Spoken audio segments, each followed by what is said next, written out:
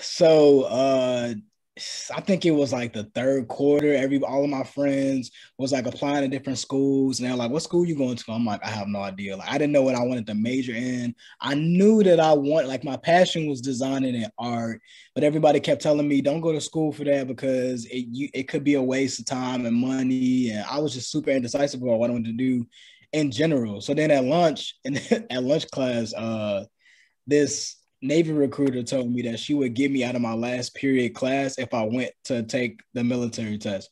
I had no intentions of actually joining the Navy. I just didn't want to go to that class because I didn't do my homework that day.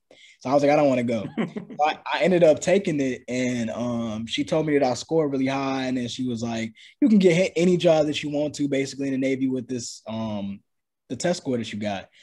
And I went home and I told my mom, and she was like, "That's it, you going." I'm like, what do you mean? She was like, this is the best option for you because you're so indecisive and you don't know what you want to do. She was like, trust me, you would dump, you would waste a lot of money, you know, majoring in something that you really aren't passionate about. So I feel like you should go to the Navy and figure out, you know, use that time to mature and figure out what you actually want to do.